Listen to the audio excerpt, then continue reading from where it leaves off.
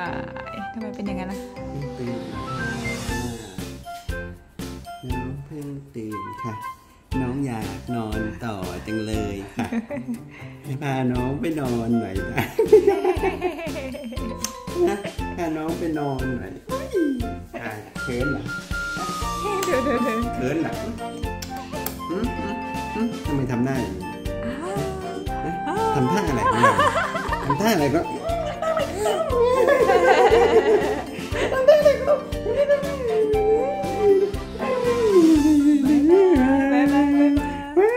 ูคอจะหักอะ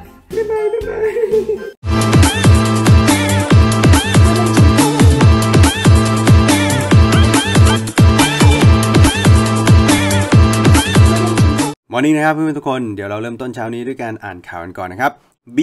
D Day ใส่เงินเพิ่มทุนนะฮะ BDD ใช้สิทธิ์จองหุ้นเพิ่มทุน 12-16มียอนนี้ ลั่นเดินหน้าโฟกัสธุรกิจใหม่ๆ เผยมูลค่าหุ้นทางบัญชี หรือ Book Value อยู่ที่ 62 ตังค์สูงกว่าราคาตลาดในปัจจุบัน 6 เท่า ก็เท่านั้นแหละ เอาจริงจะสูงกว่าสัก 20 เท่าก็เท่านั้นนะ ผมไม่ได้ให้น้ำหนักตรงนี้มากสักเท่าไหร่นะครับ ย้ำวัตถุประสงค์ในการใช้เงินเพิ่มทุนชัดเจน และหากเพิ่มทุนสำเร็จ จะทำให้ปัจจัยพื้นฐานของหุ้นบีมีความแข็งแกร่ง ปูทางสู่ผู้นำธุรกิจขนส่งพลังงาน สาธารณูปโภคโอเคก็พิจารณาดีๆนะครับสำหรับใครที่มีตัว B อยู่เขาจะเพิ่มทุนออกมาใช่ไหมก็ลองคิดดูดีๆนะครับ ไม่ไม่ได้บอกว่าเพิ่มดีหรือเพิ่มไม่ดีนะแต่ต้องดูว่ามันเหมาะสำหรับเราหรือเปล่านะฮะแต่ในตัว JMT เนี่ยต่อเนื่องจากเมื่อวันก่อนนะครับเพราะว่าปิดดิวนี่นะฮะหกหมื่นล้าน JMT เป็นธุรกิจในการบริหารสินทรัพย์เนาะเออก็ เขาจะเป็นการซื้อหนี้ราคาถูก แล้วก็มาเก็บเอามูลหนี้นั่นแหละ โดยปกติก็จะซื้อกันอยู่ที่ 5-15%ของมูลหนี้นะครับ ตรงนี้เขาได้มา 60,000 ล้านนี่ก็มหาศาลเหมือนกันนะ ถ้าเก็บได้สักสัก 10%นี่ก็ 6,000 ล้านแล้วนะใช่ไหมถ้าเก็บได้ครึ่งหนึ่งก็คงไม่ถึงครึ่งหรอกเอาสัก 30-40%นะครับ ก็รู้แล้วนะ เงินก็จะสะพัดเลยนะครับ บอกว่าจากสถาบันการเงินธนาคารพาณิชย์ งานนี้หนุนพอร์ตบริหารหนี้ด้อยคุณภาพรวม JKAMC โต ทะลุเฉียด 440,000 ล้านบาท พร้อมแอบแย้มว่า Q2 ปี6เนี่ย เดินหน้าตามหนี้ดันผลงานทั้งปีเป็นไปตามแผน เฮ้ย เอาจริงดิ เอาจริงดิ ก็รอติดตามดูนะ ตัว JMT นะครับ JMT เนี่ย มันมีการเปิดแกลบขึ้นมา ผมคิดว่าน่าสนใจนะ ครที่เข้ามาเล่นโซนนี้ก็วางสต็อปลอสที่ 39.75 ไว้ได้เลยนะครับ e v e r นะสั่งลุยแนวราบ จากกระแสตอบรับที่ดีอย่างต่อเนื่องสำหรับโครงการแนวราบ e v e r ไม่ว่าจะเป็นแบรนด์ My Home Silver Lake และ Town Home แบรนด์ Ever City นะครับกระแสดีขนาดนี้แม่ทัพแห่ง Ever อย่างสวิจักนะครับ ก็สั่งลุยเปิดตัวโครงการขยาย ใหม่เร็วๆนี้เรียกได้ว่าต่อยอดอย่างเต็มพิกัด Ever เป็นยังไงบ้าง โอ้โห ต่อยอดอย่างเต็มพิกัดนะฮะราคา 22 สตางค์ราคาทำฐานไม่ได้นะครับ ยังเกิดนิวโลอยู่ เมื่อสัปดาห์ก่อนก็เกิดนิวโลนะฮะ ตรงนี้ถ้าจะเล่นตรงนี้ เอาจริงไม่แนะนำนะครับ หุ้นที่ไซส์ขนาดเนี้ย เพราะว่าเวลาสวิงทีนึงเนี่ยมันเยอะ ก็สมมติทุน 22 ตังค์เนี่ยลงมาเหลือ 20 ตังค์นี่ก็ขาดทุน 10%แล้วนะครับ เพราะฉะนั้นอันดับแรกอะไม่แนะนำนะครับแต่ถ้าอยากจะเล่นจริงๆ ก็ stop loss ที่ 19 ตังค์นะออร่าทองมาเงินไป โอเคครับโอ้โหทำไมราคามันลงอย่างนี้วะออร่าถ้าผมดูตรงนี้นะครับเขาเป็น sideway down รูปแบบกราฟในลักษณะอย่างนี้ บอกตรงๆว่าไม่น่าสนใจ เป็นแบบนี้มีโอกาสที่จะลงไปกองข้างล่างได้เลยครับ แนวรับเนี่ยจะให้ไว้ที่ 13.6 เอาไว้ก่อน แต่อย่างไรก็ตามมันมีแนวรับจิตวิทยานะครับอยู่ตรงเนี้ยก็คือ 15 บาท เขาบอกว่าไง นอกจากออร่าจะลุยแผนงานขยายสาขาใหม่กว่า 64 สาขา เป็น 343นี่ถือว่าขยายเยอะมากนะครับ ในส่วนของทองมาเงินไปก็จะเดินหน้าเจรจาพันธมิตรเต็มพิกัดลุยขยายสาขาทองมาเงินไป อันนี้น่าจะเป็นปล่อยกู้ปะแต่ปล่อยกู้ในในลักษณะอย่างเงี้ยผมคิดว่าโอกาสที่จะแพ้นะยากนะ มันไม่เหมือนกับปล่อยมอไซค์ปล่อยรถยนต์ ล่อยบ้านอะไรเนี้ยอันนี้ปล่อยทองอะ่ะ คือทองเนี่ย สภาพคล่องมันจะดีกว่าพวกนั้นอยู่แล้วนะครับ อืมก็ลองดูครับ น่าสนแต่ว่าอาจจะต้องรอต่อราคานิดหนึ่งดูที่ Biden News นะครับ มีอะไร BRR ตัวน้ำตาลบริรามนะปลื้ม t i s Rating คงอันดับเครดิต BBB ลบ BBB ลบเนี่ยคือน่าจะเป็นเลทอันดับสุดท้ายที่น่าสนใจแล้วนะครับ BRR ปลื้ม t i s Rating คงอันดับ เครดิตองค์กร BB ลบนะครับ 3B ลบนั่นเอง ด้วยแนวโน้มอันดับเครดิต stable หรือคงที่ซ้อนถึงผลงานที่ยาวนานของธุรกิจน้ำมัน ตลอดจนประโยชน์จากการกระจายธุรกิจไปสู่การผลิตกระแสไฟฟ้า การผลิตกระแสไฟฟ้าเนี่ยถ้าเทียบสัดส่วนรายได้เนาะมันยังน้อยกว่าน้ำตาลมากนะครับ หลักๆก็จะเป็นขายน้ำตาลแหละ เออ แต่ว่าปีนี้ฝนน่าจะดีอยู่นะ ใช่ไหมฝนอีสานบ้านผมก็ตกกันสนานวันไหวอยู่นะ ก็น่าจะดีนะสำหรับการปลูกอ้อยนะครับ ดูซิว่า BRR เป็นยังไง กราฟอยู่ในช่วงของการทำฐานครับ แนวรับที่น่าสนใจเลยคือ คือตรงนี้ 5.9 รอหน่อยแล้วกันนะรอหน่อย แนวต้านอยู่ที่ 7 บาทนะครับ APCO รุกตลาดทั้งในและต่างประเทศนะครับ APCO เผย แผนธุรกิจ Q2 ปี 66 เล็งขยายฐานลูกค้า ทุกกลุ่มการผลิตรุกทั้งในและต่างประเทศเร่งยอดขายนวัตกรรมย้อนวัยชะลอวัยมอบสมนาคุณสร้างสังคมที่ยั่งยืนผลักดันบริษัทมหาชนสร้างโดยมหาชนว่าอย่างนั้นนะ APCO เดี๋ยวนะเดี๋ยวนะเดี๋ยวนะ ที่มันมียาไอ้นี่ปะวะ พร้อมสร้างประวัติศาสตร์การรักษา HIV นั่นไงเอ้ยลองไปดูนะ ใน YouTube นะพิมพ์คำว่า bye bye HIV เออผมไม่รู้ว่ามัน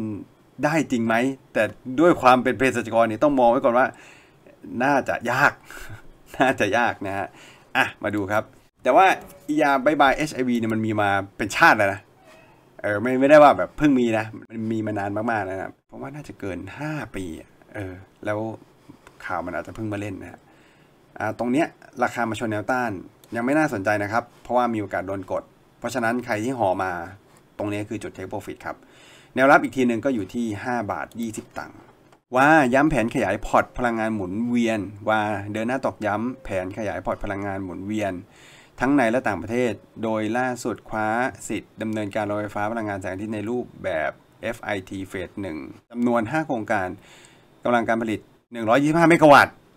ซึ่งคาดว่าจะเซ็นสัญญา PPA ภายในปีนี้ส่งผลให้ยอดรวมสะสมสัญญา PPA สำหรับโครงการไฟฟ้าพลังงานหมุนเวียน เป็นไปตามเป้าก็คือ 300 เมกะวัตต์นะครับ ตัว WHAก็ถ้าถามถึงนิคมเนาะผมว่าวานี้น่าจะดูเจ๋งที่สุดแหละ ถ้าน่าลงทุนก็จะเป็นตัวนี้แหละนะครับ ตรงนี้มี rejection น่าสนใจนะครับ เตรียมที่จะไปเทสแนวต้านที่ 4 บาท 68 ใครเล่นสั้นก็มองแค่นี้ก็พอครับ 4 บาท 68 แนวรับก็คือตรงนี้เลยครับ 4 บาท 52 ตังค์มากันที่ value investor นะฮะ มีอะไรบ้าง มิ้นคาดกำไรแต่ 5.5 พันล้าน มิ้นจะกลับมาไหม มินราคาเอาจริงก็ไม่ไปไหนเนาะเป็นเป็นหวีทองคำอีกอีกเล่มหนึ่งนะฮะแนวต้านอยู่ที่สามสิบหกจุดสองห้านะครับ แนวรับก็โซนนี้ก็ใช้ได้อยู่นะสามสิบสี่จุดสองห้าแล้วก็มีบรจวัน เดี๋ยวนะ วันเนี่ยมันจะเป็นของไอ้นี่ปะวะ KTI ปะเออดำเนินการเซตเอซายหุ้นกู้สตาร์เพื่อรักษาผลประโยชน์ปั๊บดูนะ ดูนะ KGI เนี่ยฮะ เจ้าของบลจวันก็คือ KGI นี่แหละ ราคาปัจจุบันเป็นขาลงนะครับ ยังไม่น่ายังไม่น่าเล่นนะไม่ไม่น่าสะสม แนวรับที่น่าสนใจ ผมว่าน่าจะเลย 4 บาทลงมาครับ PRTR อาจทำ all time high all time high ในที่นี้หมายถึงรายได้หรือหรือราคาครับ PRTR เป็น อีกหุ้นเบอร์หนึ่งธุรกิจบริหารจัดการทรัพยากรบุคคลสัญชาติไทยที่เอาชนะคู่แข่งต่างประเทศได้อย่างเต็มภาคภูมิ ด้วยการบริหารที่ยอดเยี่ยมเป็นสะพานเชื่อมแรงงานไทยกับบริษัทได้ที่ตั้งอยู่ในประเทศไทยได้ดีในด้านของ LIB แนะนำซื้อ PRTR เขาไม่ได้ให้เป้านะว่าเท่าไหร่ ขอดู PRTR เขาบอกแนะนำซื้อว่าอย่างนั้นโซนนี้ทำฐานครับ ถ้าจะเล่นจริง ๆ ก็สตอมรออยู่ที่ 6.25 ส่วนตัวแนะนำว่ารอแถวๆ 6.5 น่าจะมีความได้เปรียบมากกว่านะครับ โอเค จบลงไปแล้วสำหรับข่าวนะ เดี๋ยวเราไปดูหุ้นติดสแกน แต่เราต้องเริ่มต้นด้วยที่เซตก่อนฮะ เดี๋ยวจะมีคนคอมเมนต์คอมเมนต์ทวงนะฮะ อะ ตัวเซตยังไม่มีอะไรยังคงเป็นลักษณะของการทำฐาน ถ้าการพักโซนนี้ถือว่าใช้ได้นะ ผมให้เท่าไหร่ 1550 1560 ใช่ไหมตอนนี้มันปิดที่ 1551 ก็ยังถือว่าใช้ได้อยู่นะครับ แต่ถ้าลงมาปวนเปลี่ยนปวนเปลี่ยน 1525 อีกเมื่อไหร่ เราก็จะมองเหมือนเดิมครับ 1491 1470 1450 แล้วก็1,004ทวนครับ โอเค เดี๋ยวเรามาดูหุ้นติดสแกนของเราว่ามีอะไรบ้างนะครับ เริ่มจากตัวที่มีความร้อนแรงมากที่สุดนะครับ ผมให้ร้อนแรง 3 ตัวแล้วกันนะตัวแรกคือ TOG TOG เนี่ย เวลาที่วอลุ่มมันเข้ามามันก็จะเป็นอย่างเงี้ยอ่าตัวเนี้ยยังเป็นต้นเทนได้อยู่นะ แนวต้านผมให้ที่ 15 บาทเลยสำหรับ TOG นะครับ ปริมาณการเทรดในสัปดาห์นี้น่าสนใจ แต่ว่าอย่าพยายามแช่ อย่าพยายามติดดอย เพราะถ้าติดดอยเนี่ย พอมันไม่มีวอลุ่มมันมันจะออกไม่ได้เลยนะครับ เพราะฉะนั้นต้องติดตามดูดีๆนะ แนวต้านตัวเนี้ยเขาถึงแล้วละ่ะเขาน่าจะชนชนแล้วก็เบรกได้นะครับ ต่อด้วยตัว BBG ทำไมถึงว่ามันร้อน เพราะมันขึ้นแล้วก็แบบโอ้โหใครก็หยุดเขาไม่ได้อะพูดกันตรงๆเนี่ยขนาดพักตัวมันยังพักตัวเหินขึ้นเลยวอลุ่มน้อยลงอะ่ะเห็นไหมวอลุ่มน้อยหายไปเลย แต่ว่าราคาไม่ได้แผ่วเลยนะครับ เพราะฉะนั้นแปลว่ากำลังในการซื้อเนี่ยค่อนข้างดี ผมให้แนวต้าน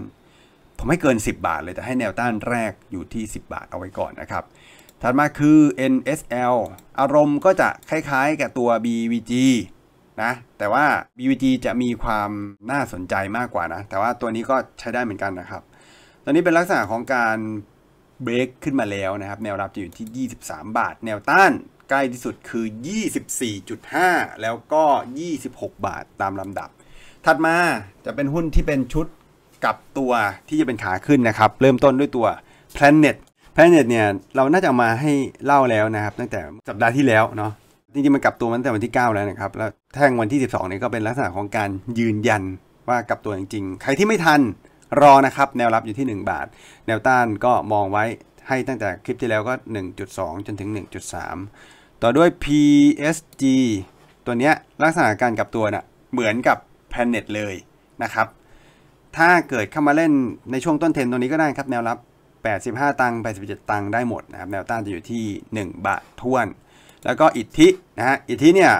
เป็นลักษณะของการทำฐานมาสักพักแล้ว ถามถึงความแข็งแรง เอางี้ดีกว่า p a n e t PSG อิทธิใครแข็งแรงมากกว่า ถ้าดูตามทรงขึ้นอิทธิจะมีความแข็งแรงมากกว่า เพราะฉะนั้นถ้าเกิดใครมองว่าอยากจะถือสักระยะหนึ่งถ้าเกิดเป็น Planet PSG เนี่ยผมให้ไม่เกิน 5 วันนะ แต่ถ้าเกิดเป็นอิทธิเนี่ยให้อยู่ในช่วง 1-3 สัปดาห์อ่ามีโอกาสที่จะรันเทนได้นะครับ แนวต้านอยู่ที่ 3 บาท 12 ตังค์แล้วก็ 3 บาท 50 ตังค์ต่อด้วย SVR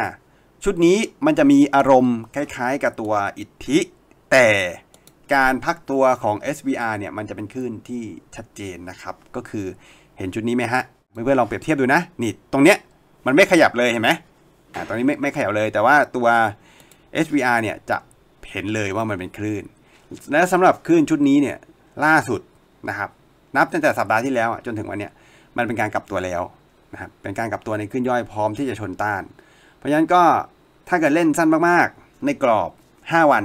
นะครับไม่เกินนี้แนวต้านจะอยู่ที่ 2.4 นะครับ แต่ถ้าเกินนี้ไปก็จะกลายเป็น 2.7 แล้วก็ 3 บาทตามลำดับครับ ต่อด้วยตัว C panel C panel เนี่ย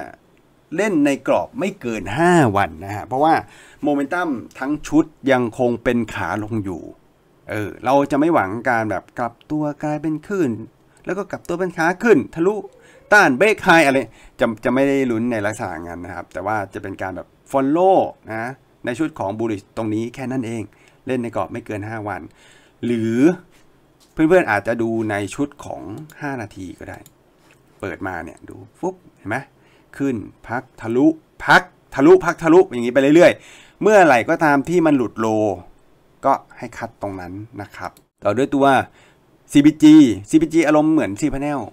เหมือนกันเลยนะครับ เป็นหุ้นที่กลายเป็นขาลงมา เป็นชั่วระยะเวลาหนึ่งนะครับ แต่ก็มีการเด้งขึ้นมาได้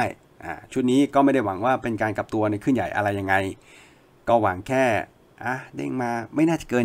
72.5 เอาแค่นี้ก็พอนะครับ แนวรับตรงนี้ก็ได้ครับ 67 แล้วก็ตัวสุดท้ายคือ NetBay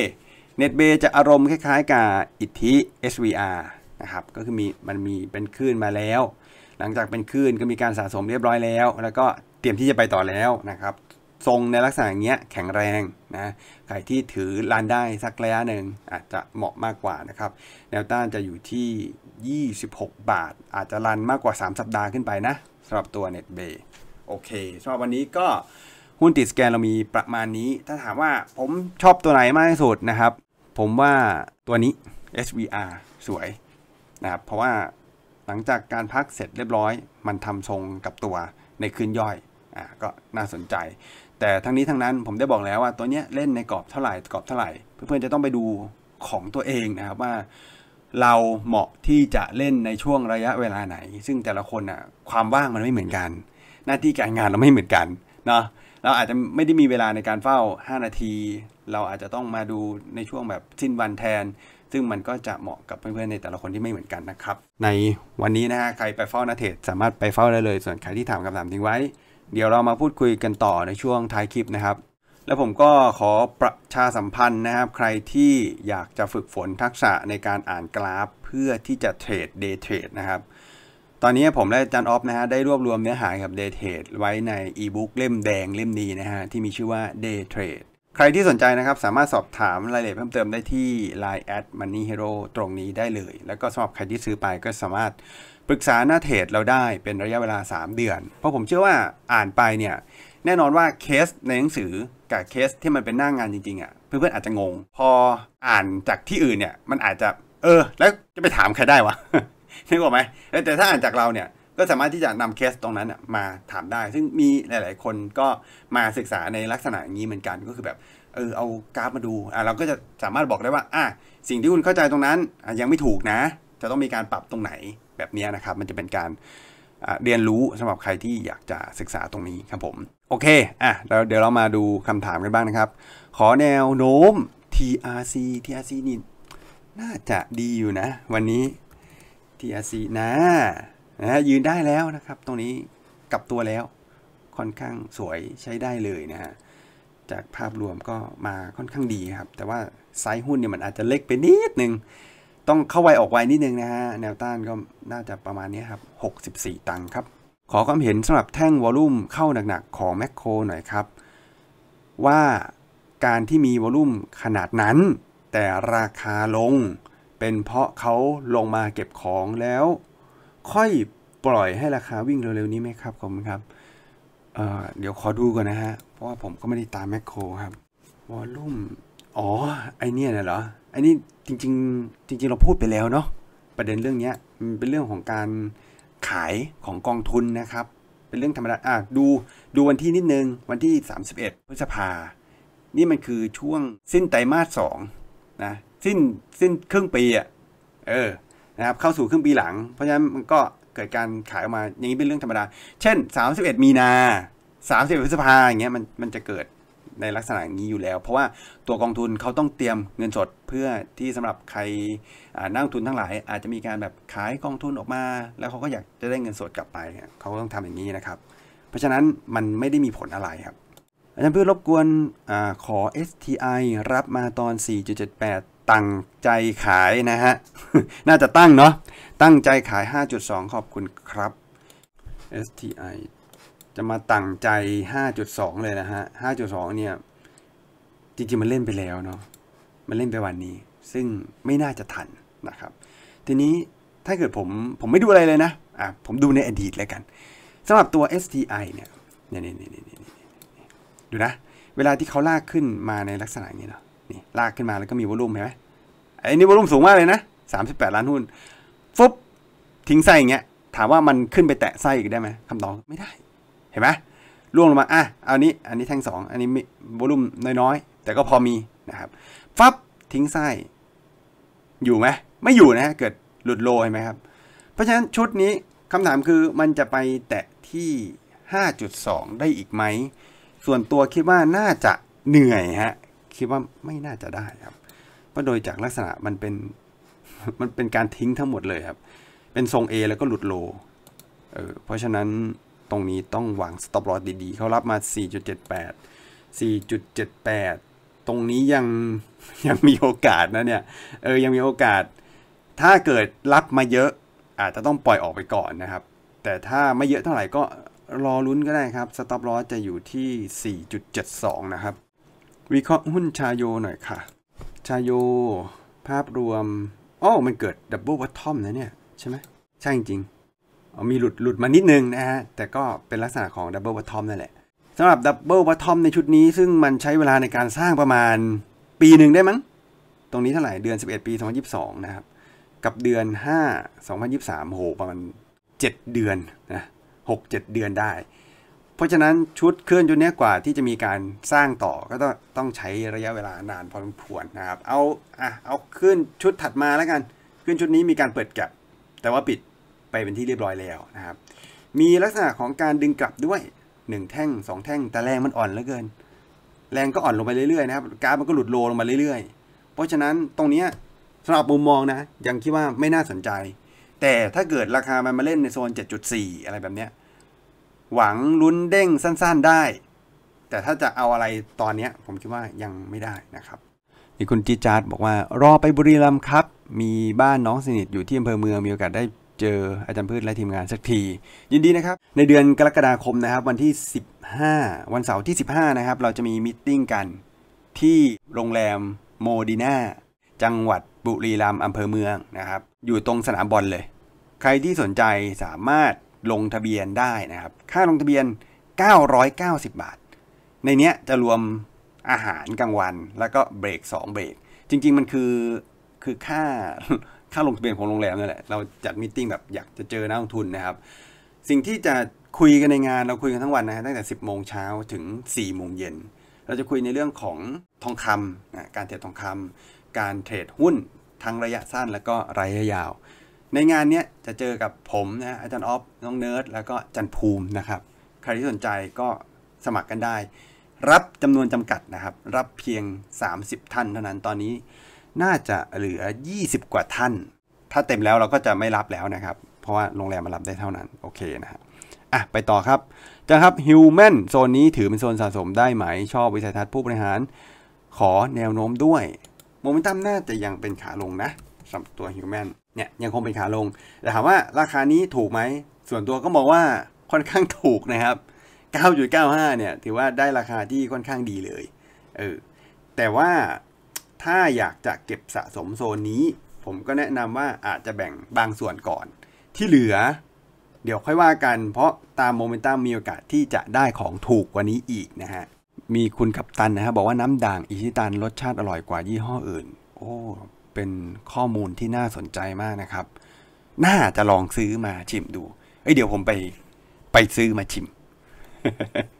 ผมจะได้รู้ว่าทำไมมันขายดีนะ หุ้นเฮงไม่ใช่เฮงสมชื่อ อันนี้น่าจะมามาบ่นเฉยนะฮะ โอเค อะ จบลงไปแล้วสำหรับในวันนี้ขอบคุณทุกคนมากๆ ขอบคุณทุกคอมเมนต์นะฮะ แล้วก็เช่นเคยนะครับ ฝากไว้แล้วกันสำหรับใครที่อยากจะสมัครเป็นสมาชิกช่องมานีโล สามารถกดปุ่มสมัครตรงนี้ได้ หรือถ้าเกิดใครหาปุ่มสมัครไม่เจอ ทักเข้ามาครับที่ Line at Money Hero ตรงนี้ได้เลยสำหรับคนที่สมัครตรงนี้ไปนะครับ สิ่งที่คุณจะได้เนาะมันจะเป็นคลิปพิเศษ สำหรับสมาชิกเท่านั้น ทุกๆวันอาทิตย์นะครับจะมีการบ้านหุ้นให้เป็นรายสัปดาห์อ่าแล้วก็จะมีเป็นคลิปพิเศษที่เราเลือกหุ้น ตัวนี้น่าจะถือระยะยาวได้ แต่จะเหมาะกับใครไม่เหมาะใครเพื่อนๆไปตัดสินใจกันเอง แล้วก็จะมีทริคนะครับสั้นๆในการสอนว่าเอ้ยจุดซื้อดูตรงไหน จุดขายดูตรงไหนอะรันเทนดูยังไงนะผมก็จะค่อยๆแบบเติมเข้าไปเรื่อยๆสำหรับ ใครที่เป็นสมาชิกของเรา แล้วก็ถ้าเกิดมีใครอยากจะแนะนำแบบเออในกลุ่มสมาชิกอยากได้นั้นได้นี่ก็สามารถแนะนำเราเข้ามาได้นะครับสำหรับวันนี้ผมคงต้องขอตัวลาไปก่อน เดี๋ยวเจอกันใหม่ครั้งหน้า ขอบคุณและ สวัสดีครับ บ๊ายบาย